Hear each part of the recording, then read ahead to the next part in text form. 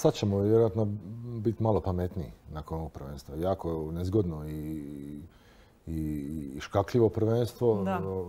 Jedna grupa koja je opasna, nemaš pra, nema, jednostavno nemaš lagane utakmice gdje možeš kalkulirati i, i, koja te može e, ili nemaš onaj, kako bih rekao, joker zovi, znači da ako jednu kiksaš da drugu možeš, ne znam, znači igra s Francuzima i Srbima koji su Francuzi uopće ne treba govoriti, bez obzira kako će sastavu doći. Sve to, e, Srbija koja je malo u biti Srbi su uvijek bili talentirani, dobri, jako dobri, nego je problem bio ovih neki međusobni odnosi, to vođenje njihove restacije i sad su se malo sa španjolskim trenerom se malo nekako smirili, malo su sad, igra ima glavu i rep, malo više discipline, što je njima uvijek falilo i jako su motivirani i bit će jako opasni.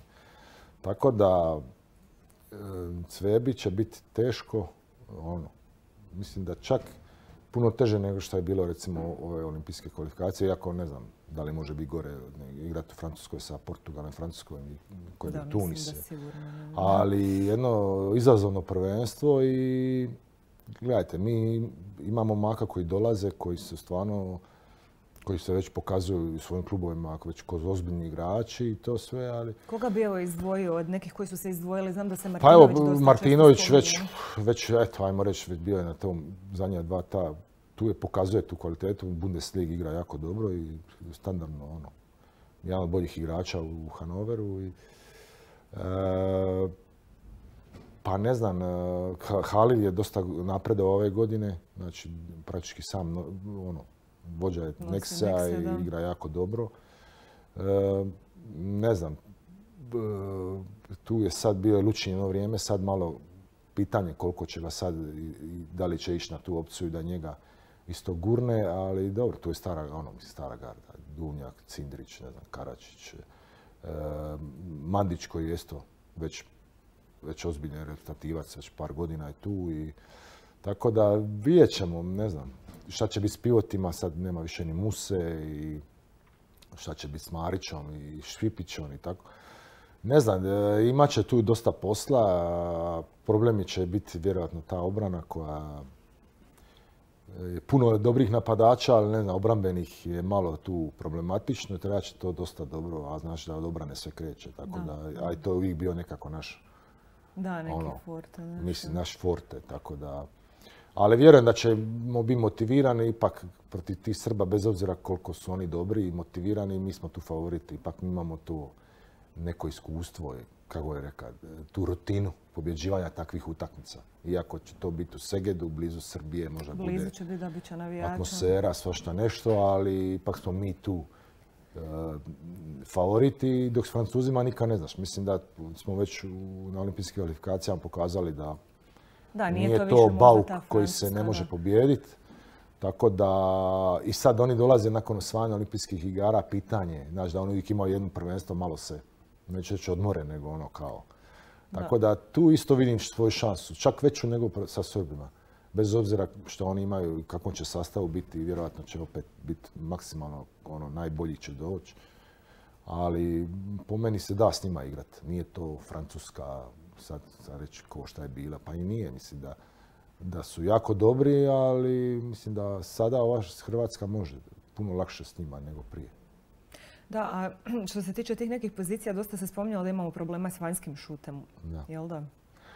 Pa dobro, sad imaš tog izrazog baš šutera Halila koji onako, ono, nije mu problem za biti deset golova i tako. Ima Martinovića, e, nekako njih dva su ti koji će vjerojatno veći dio toga preuzeti na sebe. Prepostavljam sad, ne znam iskreno koga će izabrati, šta će, koja će biti alternative. I tu ima sad puno igrača, sad niko nije tu osim njih 7-8 koji bi rekao možda evo to su ti, a ovi drugi nisu. Niko nije baš siguran. Tako da vidjet ćemo kako će se to sve odvijati i mhm. koga će izabrati. Ali kažem, nekako napadački vjerojatno njih dvojica, a Cindrić, Duvnjak, to će biti neka okosnica, pretpostavljam. Da, jer mnogi zapravo zazivaju ta vremena kad si ti igrao, ono, znam da su znali govoriti, e, od kad si se ti umirovio zapravo nismo imali nekog pravog desnog vanjskog da nam fali. A dobro, ja sam, to su bili takvi, to je sve drugačije, ono, mislim, ljudi, ono, mi smo bili takvi smo bili, ovi su sad drugačiji, to svako vrijeme nosi svoje. Ali se to rezultat mijenja. Znači, jedan pravi rezultat, e, padaš u onaj zaborav. Tako da ja sam bio takav, svaki je drugačiji. Martinović je drugačiji igrač nego što sam ja bio. E, sigurno obrambeno bi mogao biti bolji, tu je mali problem, ali ja ne vidim razloga on to ne može igrati. Može i mora. Mislim da je to sve stvar volje u ovom momentu, a to će vjerojatno i tako biti. E, tako da vidjet ćemo, šta ja znam, svako vrijeme nosi svoje. Mi smo bili takvi, sad su oni takvi i trebamo ih podržati maksimalno. Da, da. valjda će biti da ajde još i Stepančić je ono imao neku ozljedu pa Pa ja mislim da on nije ozbiljni. E, on je u nekim ozljedi ni ne igra. tako da. tu će biti vjerojatno Šebetić ili ne znam na koga planira još ima tu neke igrače. Tako da vidjet ćemo. Da, a šta kažeš na Šebetića? Bilo je na toj tvojoj poziciji još koji je bio Buntić, Šebetić, Kopljar? Pa on isto ostavio jednu karijeru koja je dobra, ali nedorečen. Znači, prije svega obrambeno jako dobar, ali napadački malo slabiji.